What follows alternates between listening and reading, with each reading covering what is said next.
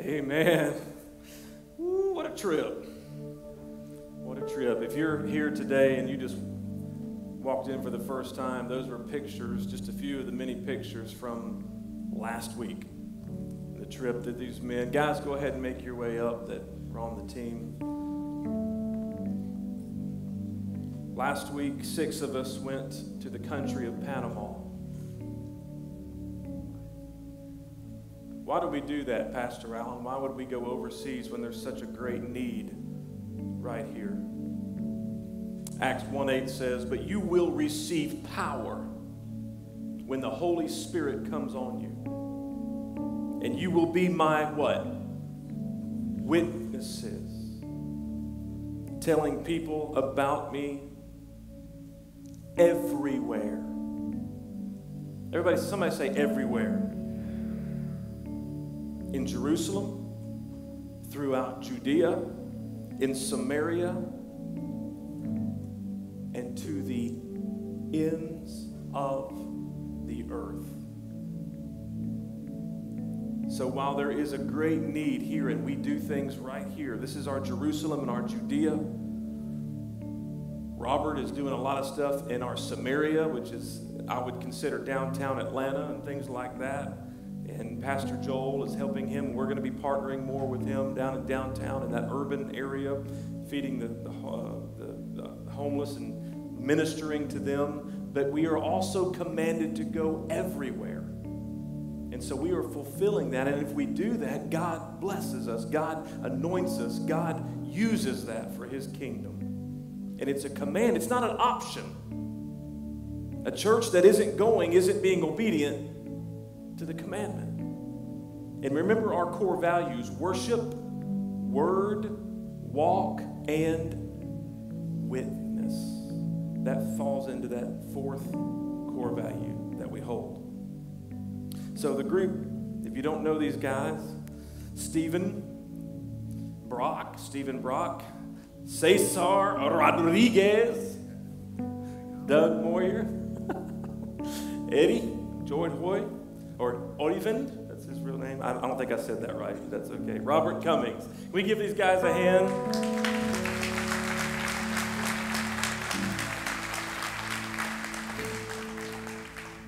What I'm gonna, what we're gonna do for the next few minutes is, uh, did y'all get a microphone? You didn't. Grab both of them. We're, we're just gonna kind of walk through this trip so that the purpose of this is to awaken in all of us the desire because these aren't the only five guys that are going to go on a mission trip. I believe you're going to go on a mission trip. And if you can't physically go, I believe you're going to be a part of it by giving or by praying, which is just as important. And so this is important for you to hear the heart. I'm telling you what, these guys will never be the same. I'll never be the same again. Because we're doing what God has called us to do. And God blessed in such a powerful, powerful way. Um, we've got one extra chair there, don't we? See, we have a missing chair. Somebody else should have been on this trip. Amen. This was on. Guys, real quickly, in just a couple of words, what was something that just absolutely stood out to you? Stephen, go ahead and start. Hand him the mic there. Just something that just, bam, stood out to you. Um, well, first of all, this video that Lynn showed took on a whole new meaning to me because we've been there. Yeah. You know, we've seen that. Uh, but, uh, you know, the kids, they had a lot of joy. They really uh, were happy we were there. We were blessed. You know, they were blessed. But um, I think the joyful um, spirit that they have really spoke to me. Amen. Say so. Uh, first of all, I want to make sure that I say uh, I miss my family tremendously. And um, I want to thank uh, my woman of God, Rachel. She wrote me five letters for each day, and um, that really touched me and, and, moved me tremendously. But first of all, I want to say that um, there is really no special moment to me on, on the, the whole thing. just moved me. And um, when I'm speaking out of my heart, um, like like they say, donate a child. We was there, and um, it was mind blowing knowing that these kids really need Jesus. Amen. And uh, Amen. I'll pass it on to you guys. Doug, go ahead.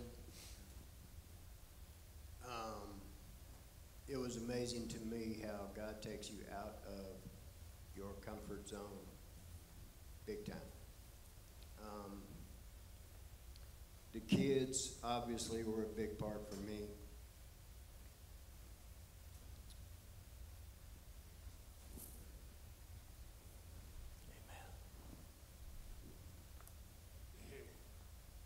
Said I wasn't gonna do that.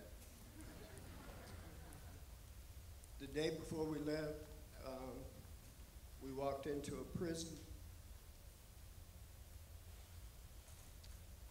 And, uh, I used to watch a lot of lockup, you know, just, uh, you know, something to watch. But it was when you're inside those four walls, or however many walls you wanna call it. Um, the landscape of the inside of that prison was really no better than the city or the, or the towns or villages that we were in. The only thing that was different were, was they were locked up and there was no way out. But all that being said, there was probably about twenty guys that came in for the service and, and we had a great altar time and, you know, we was able to talk to them a little bit and right before we got ready to leave, the, uh, the pastor shared a little bit. And this guy works in this prison. Um, they check him in. He's there, and you know he's dealing with these guys every day. And if you can only imagine going to the office every day and looking at people that just, you know, want to kill you. You know, you can be dead from one minute to the next. What you've got to say doesn't matter to them. So we got ready to leave, and, and I just felt like uh, I've, I've never been one to say, God told me to do this or God told me to do that. I'm very, uh, very cautious about that. But I felt impressed to go pray with him. And it's been years since I've allowed uh, the Spirit to move through me. And that man broke. And, and I don't know if you understand or not, but in Panama, a grown man doesn't cry. That's, uh, makes him look weak. And for me to be able to do that and, and let God use me in that way was, was the highlight of my trip. It was awesome. Thank you. Amen. Amen.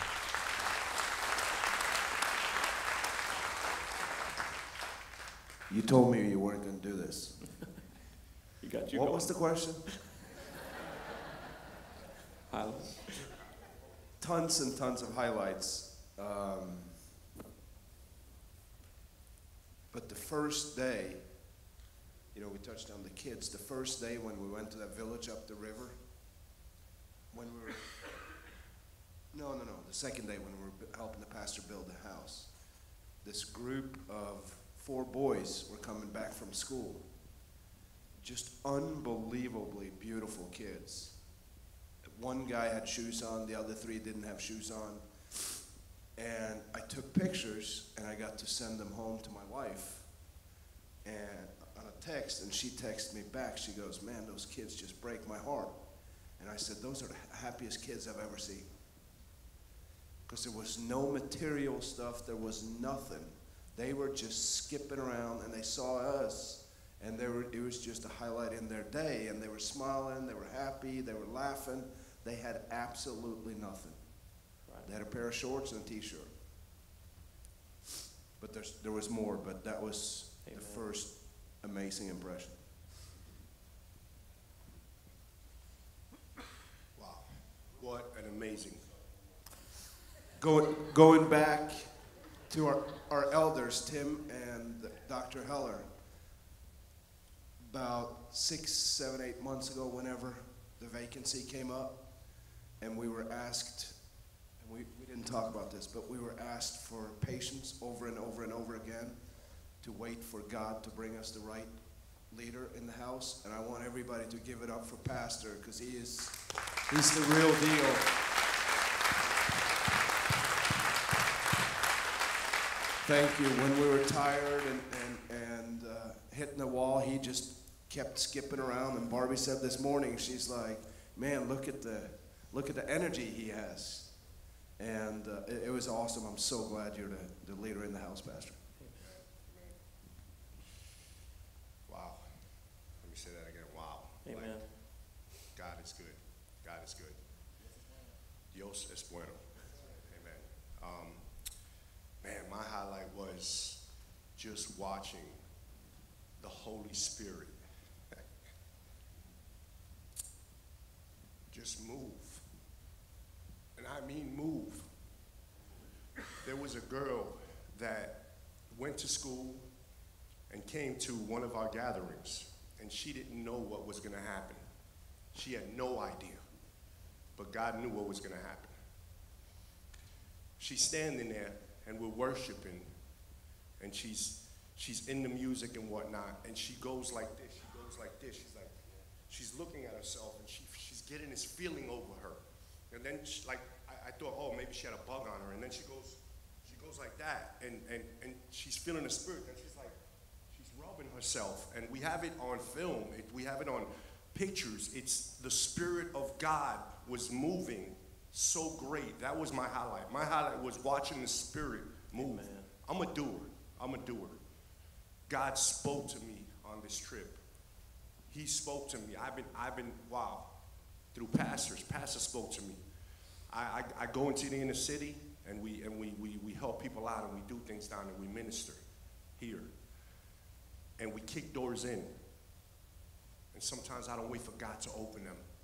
But let me tell you something on this trip, I learned to sit down for an hour and wait for the van and wait for the Spirit to go before us. Amen. Wait for the Spirit to go before us and prepare the way. Amen. And I saw the evidence of that obedience, of being patient and waiting on the Spirit Praise God. with what He did. Praise God. That's good. That's good. I've got. It. Stephen, uh, this was this was Stephen's first trip outside the United States. Uh, yeah. yeah. Curious, how many uh, how many have never been outside the United States? Raise your hand. A lot, a lot of folks. Get ready. If you have your hand up, get ready. Get ready. Um, what was your, was this what you expected it to be? What was your first, what were your impressions when you, we first got? Well, first of all, I'm thankful for indoor plumbing, um, running water um, for the toilets. Um, it was it was a shock. It really was. I'm thankful for it a lot. And like I said, that video, it's like I saw the this, a similar video during the Ram Corps concert. They played one for Compassion, and you know you're, you're kind of distanced from it, but you say, "Oh wow, you know that's another way of life." But then when you go and see it, you know, that third world, world part of it, and we went over into the Darien province, and even in the city, you know, just trash everywhere. Um, no infrastructure to support that collection of trash. Manhole covers missing on the sidewalk. If you're walking down the sidewalk texting, you know, whoop, down you go.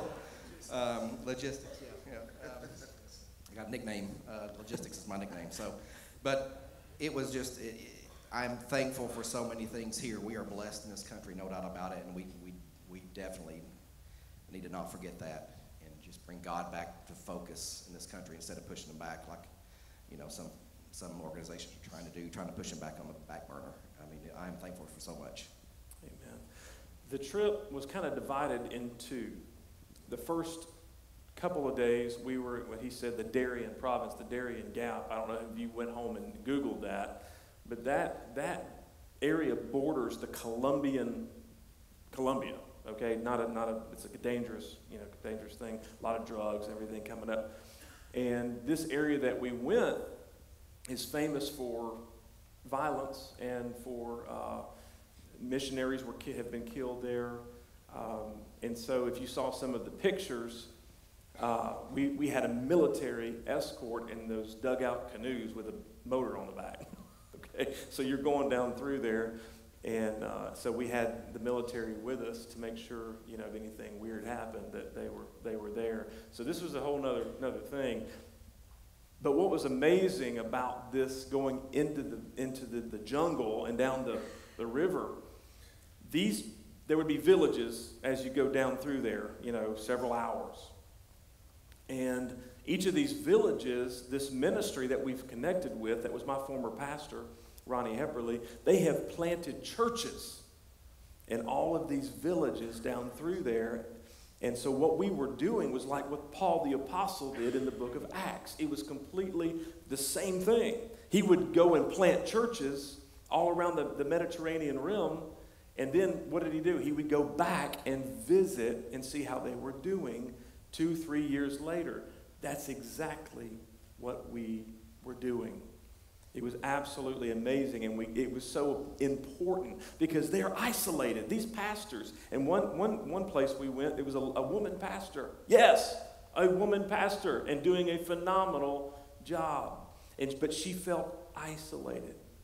She felt alone. And when we showed up, folks, you just can't, you, you like getting visited in the hospital? Totally different level here, okay? When we showed up, it was like the Lord himself showed up. It, it, that's what it represented. And we were able to encourage this, these two ladies. And as we did, each of us said something to her, and tears, tears just, just falling down. It was absolutely beautiful. So, um, Eddie, you've been all over the world. I mean, you've, and you're from Norway, but you've traveled business, pleasure, all over the world. Um, quickly tell us a little bit about jungle ministry and what, what kind of what we went through there. Well, you didn't mention that the military also had automatic weapons with them. I was glad for that. Yeah. And we were like, why is this happening? And Ronnie, the head guy, is like, no, I don't know. There's normally something bad going on with this when this is happening. Secondly, the, uh, the, one of the things that I wanted to share was the encouragement and all that stuff when we went up the river the first day. And for me, it all started in our meeting in the conference room. And like Doug, I don't throw around, I feel like God talked to me, I feel like God spoke and all this stuff. But I am convinced that through Cesar, Dominicano, the uh, God spoke through him to me because when this opportunity came up, I had a million excuses why I should not go on this trip. Listen to him now. This is Okay. for everybody. Okay, listen. And at home, again, I had my awesome wife encouraging me. But when when when Cesar, just in a casual conversation after the meeting, said, "I am so excited because somebody in Panama needs us there to, that week of April, whatever." Amen. And everything changed for me. I mean, everything changed. All the stupidity went out the window. The devil, the devil had no more say in the whole thing. And then that first day, you know, and I shared with my family, I said, you know, somebody needs me in Panama. That's why I'm going. Somebody needs me. And after that horrendous boat trip, sitting on the, the wood and cramping and heat and all that stuff, we got to the village, and like Stephen said, it was just trash and, and houses about to fall down. Um, and then I realized why I was there because these two female pastors were in need of encouragement. They, they are working their tail off, and, and uh, Ronnie said, the, the lead pastor, she's a really real go-getter. Uh, she's a single mom. She cooks chickens or whatever where we got on the boat to sell it to fund her ministry and all that Yes. stuff. Yeah. And with all that hard work and up and down the river and the inconveniences, they have seven members that they preach to every Sunday. Eight. Okay. And then we're there and we start speaking encouragement into them. And like Pastor said, the one, I don't know if she was associate or another church or whatever, she couldn't stop crying. And you saw the Spirit just lifted them and they were ready for that next, that next run, that next harvest of lost souls. It was amazing. Amen. Amazing. Good stuff. Um, yeah. Um, the reason why we said eight, and it's pretty awesome because I think it's, uh, I think it's awesome. She had seven people in her church when we got there. She was down. She was depressed. She was a little uneasy about, you know, things are not going the way they should. And we get there, and in our obedience, and we minister to her, and then there's an altar call out of nowhere, an altar call out of nowhere, just in kind of just the, okay, the kind of um, talking and whatnot going on, and she gets one more soul, one more person that's going to a church. That's like God conf- confirming, like, here it is. Here's the one, and it's going to keep going, and it's going to keep going, and it's going to keep going. So it, wa- it was just awesome to see that. And Cesar led that boy to the Lord. He was a teenage boy, and Cesar led him to the Lord, prayed with him.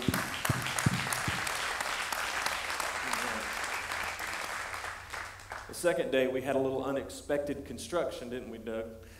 Uh, we weren't planning on building anything on this trip, but when we got to this, this other village, the pastor was building his home. The pastor was building his home and had run out of material. Well, he had some material, but he ran out of help. There was only one guy over there, eh, eh, you know. And we got there and just started building his house. Just started working. We've got the, the master carpenter over here. He's, yeah. He jumps up a ladder. He's crawling on the top of the thing, nailing roof, you know, all this stuff in. I used to be a licensed contractor in Tennessee. Long story. Anyway, and uh, I grabbed a hammer and we just we went to town, didn't we? Man, what a blessing! Such a good, such good stuff. Um, Cesar, you speak. Cesar speaks Spanish fluently. I mean, it's amazing, and of course that's his first language. So I guess I should say you speak English fluently. It's really more like that. He's like, duh, that's my language.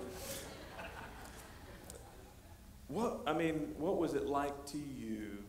Because here it's, I mean, yeah, you run into some Spanish people a lot. I mean, there are a lot of uh, folks around here, but to use that, I call it a gift, that, as an opportunity for the kingdom and to be able to, to he had never translated before. I get him to preach the first night in the main church that all these little churches come to. It's kind of a camp meeting. And I preached that night, and he, I didn't know, but he suffers with stage fright. How many, how many know what I'm talking about? I mean, it, it would absolutely terrify you. And, and I hand him a microphone. Said, here we go. and he did amazing, amazing. What was, what was going through your head? What was that like for you? Well, like you said, it was frightening, but um, I want to thank the Lord that He got me to my next element. Like right now, if, if I was to come out here because of the trip, I probably would have ran towards the back door. But um, I already knew that that God had used me to my voice and to touch these people. Um, that when pastors just said, translate.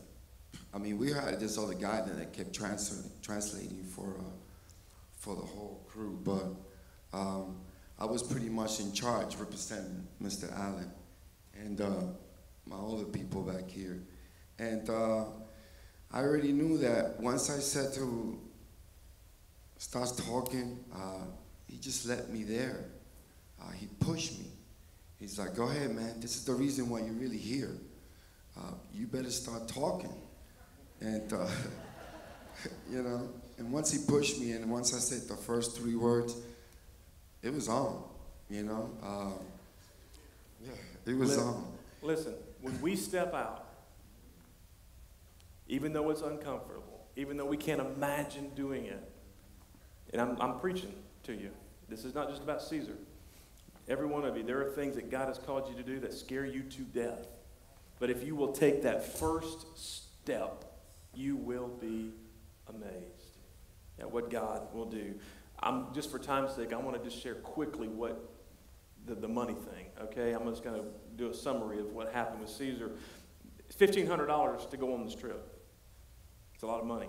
And it was a fast turnaround, too. This thing came up, and I said, if you can do it, 1500 bucks, you know?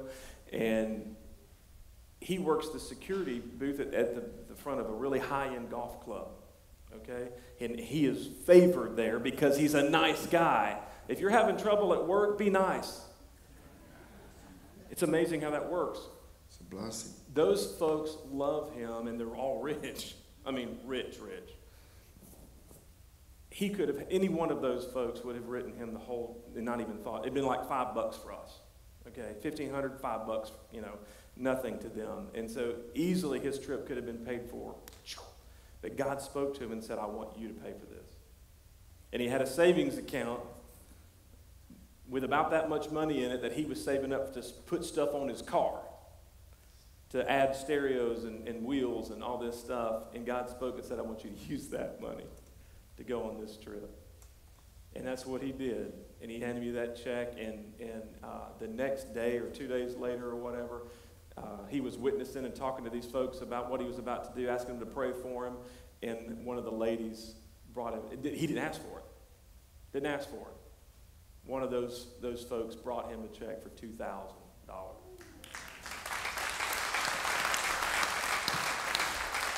That's for the next trip, right? Hallelujah. The second half of the, uh, by the way, God will do stuff like that if you will put yourself out there.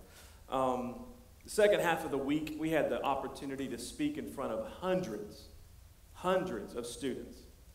We can't do that here in school. In the school, got to preach whatever we wanted to, have altar calls, the whole nine yards. And so that's what was happening Thursday and Friday of that week. Um, and listen, listen, listen. We had over 400 decisions for Jesus Christ in two days. In two days. And listen, that number is low, is it not? I, whatever, they would count heads. And if, if, it was 200, I would say, okay, 150. Because these trips are notorious for people to lie. I mean, just flat out, oh, we had 8,000 saved and there might have been 100. You know, it, it, that just happens in the world of this anyway. So I was like, we're not going to do that. We're going to be very careful with our numbers. And the thing is, it wasn't just numbers. The local churches, when we had these kids come up and they gave their hearts to the Lord, they got their name, their phone number, their emails, all of that stuff to follow up with them and get them involved in church. Man, awesome. Now, Doug, that first day we were in that we were in that school, and I handed you the microphone to uh, to share, and I didn't know, but Doug had never been in front of that many people ever, ever, and I'm kind of like gifted with kicking people out of the nest. That's just sort of my sort of my, my one of my spiritual. I don't know what that's called, but uh, but I handed you the mic and just share a little bit about that. I had a translate for him too. Yes, and at the same time, they're both flying. Amazing. We, we had some exciting talks because we roomed together, so we got to talk about everybody. It was fun. we made a lot of fun of people. Yeah. Um, a- as I said earlier, you know, it's, it's not, um, I, I, I don't know if it's custom or not, but I believe it's not a, it's not a thing where older kids or adults show emotion. And these kids, hmm, there was from, I mean, from this tall to, and they were all in uniform, military. It, it looked to me like some kind of naval academy. I don't know, they all had anchors, but um, I just shot it out there to them that, you know, nothing different than I would tell our kids here. Look, you set the example for these kids downstairs. Amen. And us as parents. Mm. My God, if you only knew who's looking at you. you have no clue. You might think it's just your kids that are watching you. That's not. You are, um, you're a, God's got a magnifying glass on your life. These teenagers are watching what you're doing. The little kids are watching what the teenagers are doing, and, they're, they are our next generation coming up. So if we're doing garbage, they're going to do garbage. The little ones are going to do garbage. They pick it up the fastest. Um, but that was my, my encouragement to them was, you know, just set the example. And that whole back row, remember, Pastor? Yes. They were standing up in uniform. I mean, even girls in uniform, probably in their early 20s, started to break, started to show emotion, started to cry. And that, you know, that to me is just, I love it. Yeah. Amen. Unfortunately, we're getting close to the end here. I had more things to talk about. I can't express to you, words, English language can't express to you how proud I am of these guys. Can you give it up for them? They phenomenal job. Thank you guys.